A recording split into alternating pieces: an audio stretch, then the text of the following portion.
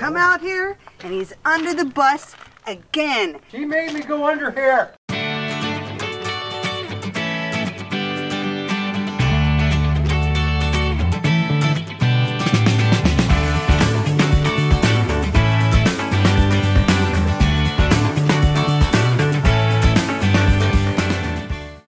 Just leave me alone under the bus. Grumpy old man. Okay, this just is not fun. There's nothing fun about being under here. There's nothing, everything's dirty. Not like this is a brand new bus out of the factory. It's a mess. It's grimy. Yeah. Mud clod. Yeah, I want a hammer. Oh my A metal one.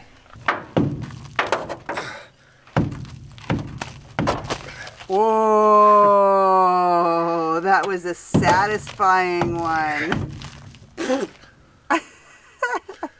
Okay. More man. I got a bad feeling about this right now. Now there's the debris field. It's seriously gonna come up like one or two feet short. It's like six inches short. Aww. It's okay, I'm just gonna move it over here. So what's the good fit in here? Right here.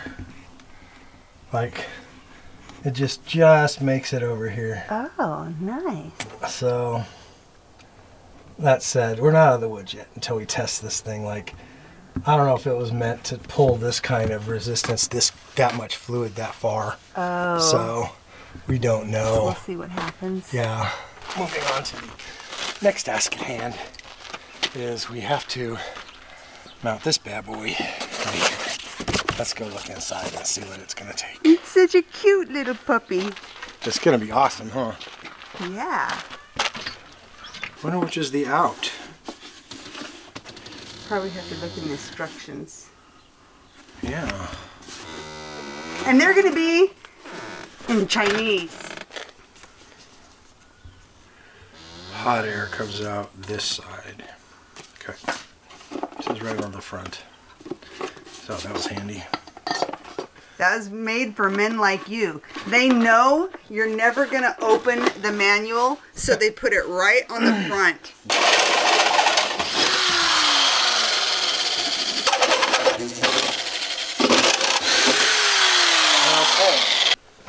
One fits. Well, you're halfway. There.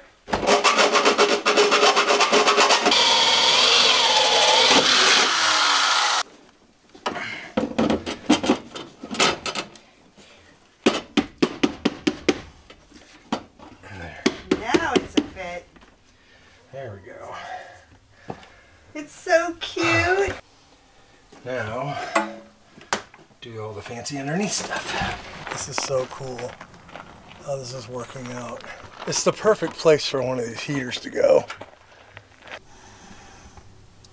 So there's the, the big tubes are input, uh, air intake, and exhaust. And the one next to this one right here, that little tube, is fuel input. This is turning out to be easier than I thought it was going to be. We have to have something wrong. Like, when is the failure part supposed to happen? Knock on wood, hurry. I mean, it's supposed to happen any second. I'm sure of it. so you're just hooking something onto that I'm putting the bolts line? that hold it right now. Oh. I'm just doing bolts. Okay, I need one of those little fuel clippies. Oh, sure. But that's on there, so no worries. Okay. Okay, now we got to get the intake and exhaust pipes. This is the air intake pipe right here. That's just uh, some kind of uh, filter. How? It won't go on. It's not that it won't go on.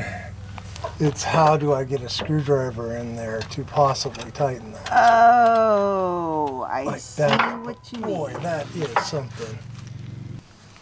I got it. But we need that angle thing, angle driver.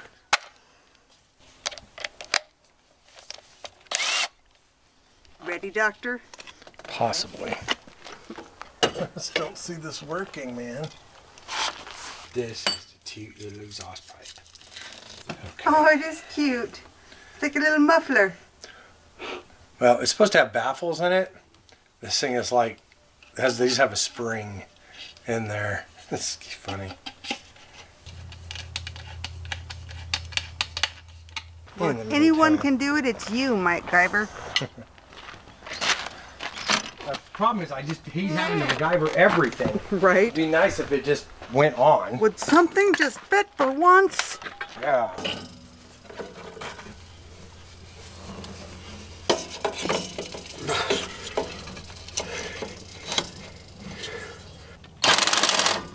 I guess that's that. Okay. At least you're working on your can. Yeah. In the meantime.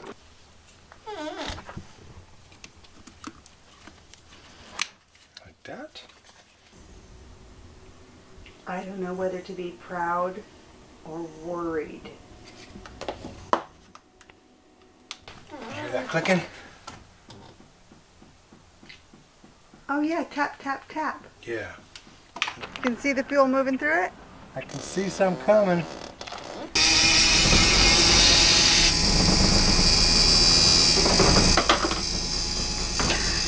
See the bubbles in the line right now. We're trying to prime it. I'm questioning whether or not it's going to work or not at this point. I don't know. As soon as it gets filled up, we'll turn it on. Did you hear that, Mama Kitty? We're about to turn on the heater. Yay!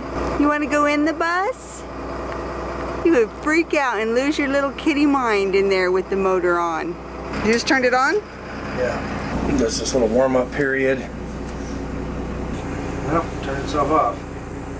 So, here one.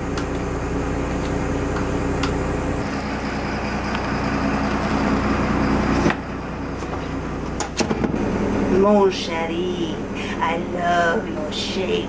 I love your color. But most of all, I love your electronics and your combustibility.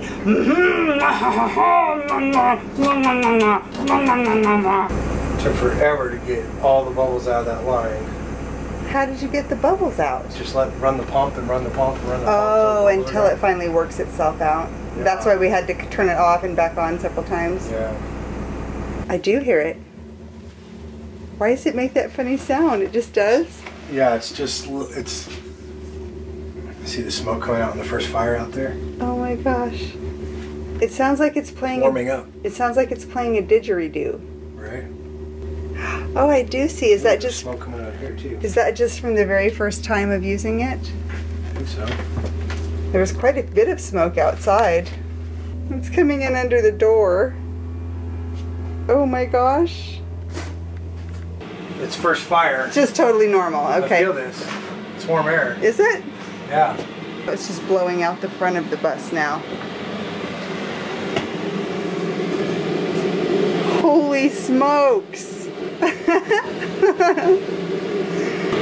Man, that smoke is like blue. It's so interesting.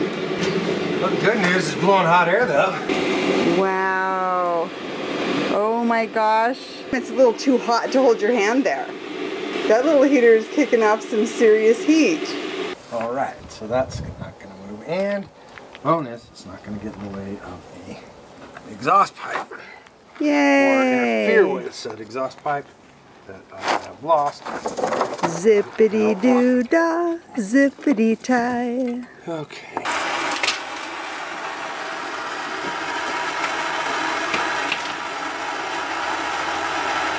Okay.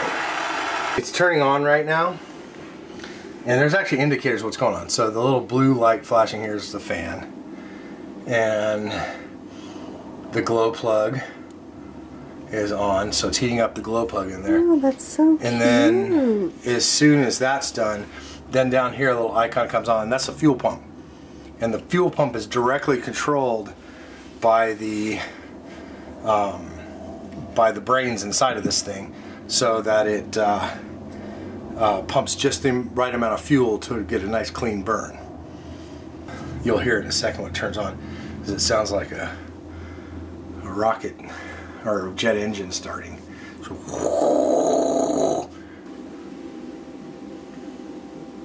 okay.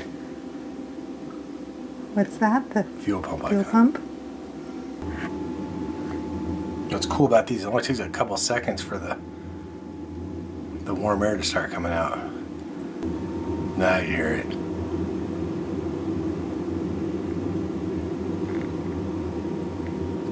And warm air. Nice. But it's gonna get to the point pretty soon I'm not gonna be able to hold my hand here. Okay, that's enough. That's hot. Too hot. that's hot. So you're just gonna go for it? Feel pretty comfortable with Yeah. what you saw down there?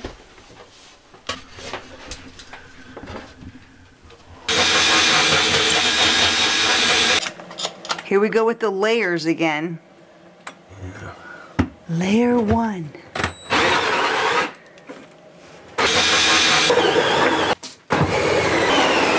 There it is. You got it? One of two. Now we have to go through this whole process again.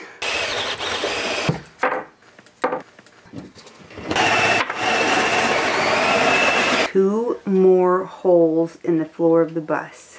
Oh my gosh, you look like a caveman. I am a caveman. Look at your unibrow. What is that from? My God. I don't know, it's like something greasy from under the bus. Yeah. Uh, don't even lick those fingers. Should go out? she didn't even bat an eye at all this drilling. She's just hanging out here. Yeah. Mama kitty. You have come a long way, haven't you? From when you were too scared to be in the bus. Good job, Mama Kitty.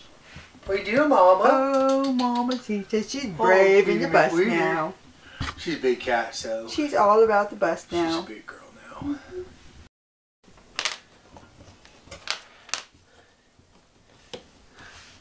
Ooh, So it's a black hole. it is totally a black hole, but it's a very dirty black hole. So we need something to. We need this little guy, little R2. So straight down, we have a rather large hex key hole right there. Then we have that thing right there. That's the level sender. That's where your fuel level is calculated. And what we have is this thing that needs to go in something here.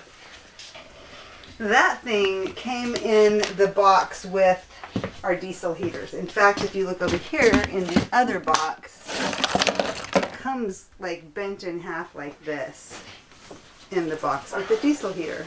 So, what I'm going to do is get a hex key and try to open that. There's a whole drawer full of them in here. It's a pretty big one. Oh, really? Here, let's see. Like this Oh big? god, it might just be that one. Well, what are the chances?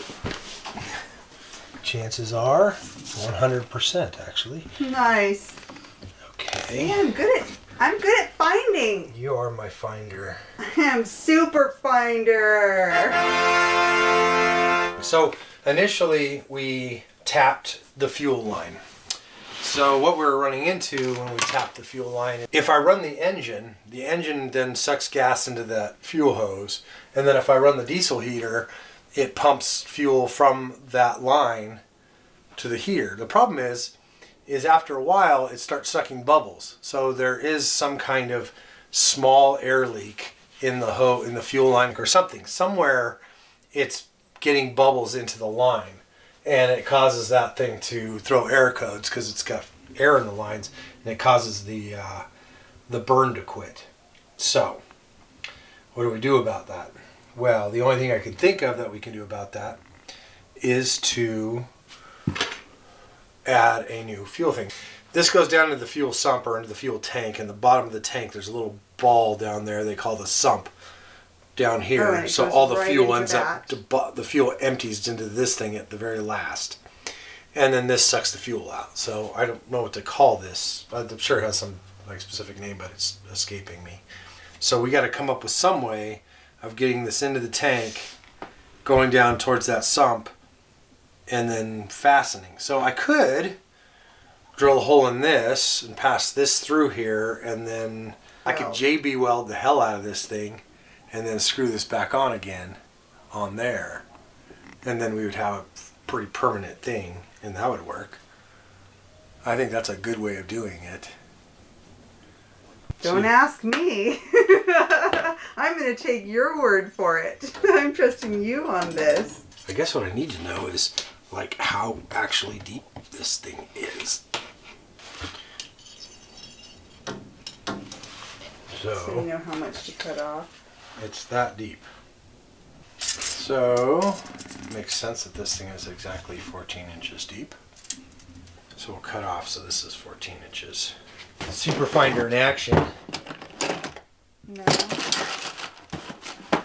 The little red thing, little, it's almost square. It's very small. Oh no, I'm not finding it in here. Check in here. Right there. Aw, score! I'm Superfinder You today. You were super finder. You were wearing my cape, I didn't mean and to. And I didn't even know I about didn't mean it. to embarrass you. Get in there.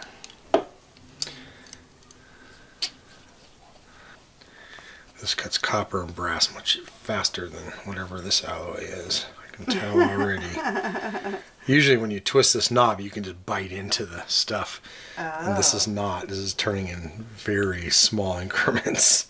So it means this metal is harder than copper and Huh. Well, that's whatever else. know. This is it. Yay! Perfect. Perfecto.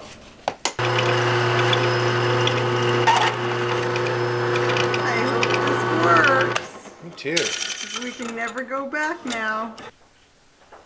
You're supposed to be able to like fix fuel tanks and stuff with this stuff, so like I think that's it. We are going to take these and create the split because I couldn't find a split. I had to make this. Ta-da! Very clever. Oh, fine. Take that. Show it who's boss, baby. I did. You're stronger than tape. You're the boss of tape. Sometimes Teflon tape is tricky. So I'm using this. Which came with the diesel heater. This stuff came with the diesel, heater, yes, and with these little clips here. Yeah. I guess I have to go under the stupid bus again, which means I need to change my pants and probably put on a jacket because it's peasing toed. Put it in your cubbies. Just stay in your clothes and oh, put your cubbies good- I forgot about my cubbies. That's perfect for this Yeah, job I today. know, huh? All right, all right. Windy and freezy It's and both. dirty. It's all of the above. Yeah. Reach down there and grab it. I can see you touching it. There it is.